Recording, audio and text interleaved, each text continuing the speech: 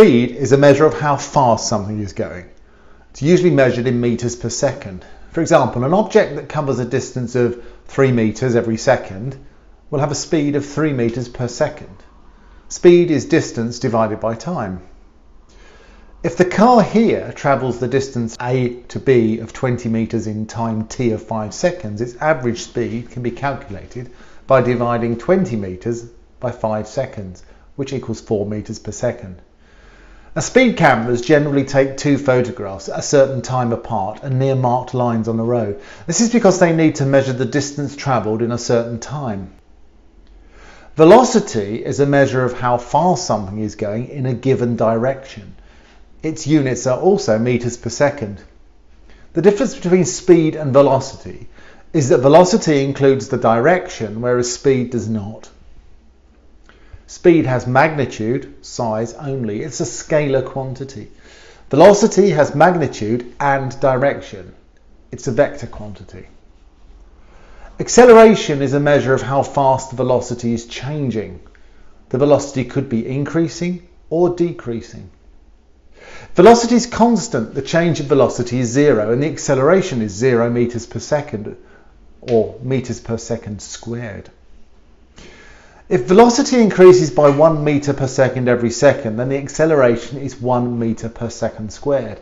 If velocity decreases by 2 meters per second every second, then the acceleration is minus 2 meters per second squared.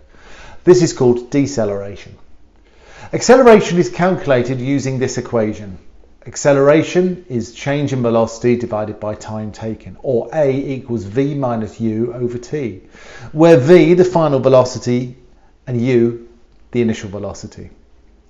To measure acceleration, the velocity must be measured at two different times. This can be done with light gates. The data processor measures the velocity at two different points and measures the time between them.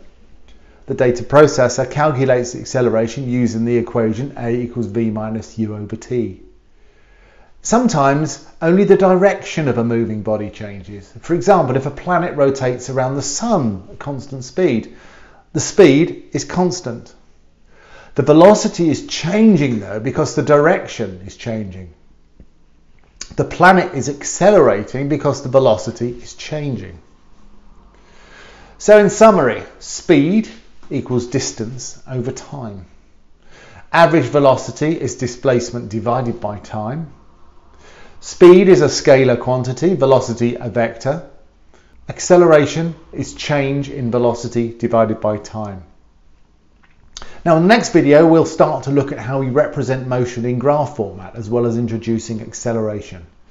So make sure you subscribe to our channel if you haven't already and click that bell to receive updates as and when we upload more videos. Until then, keep wondering about the universe.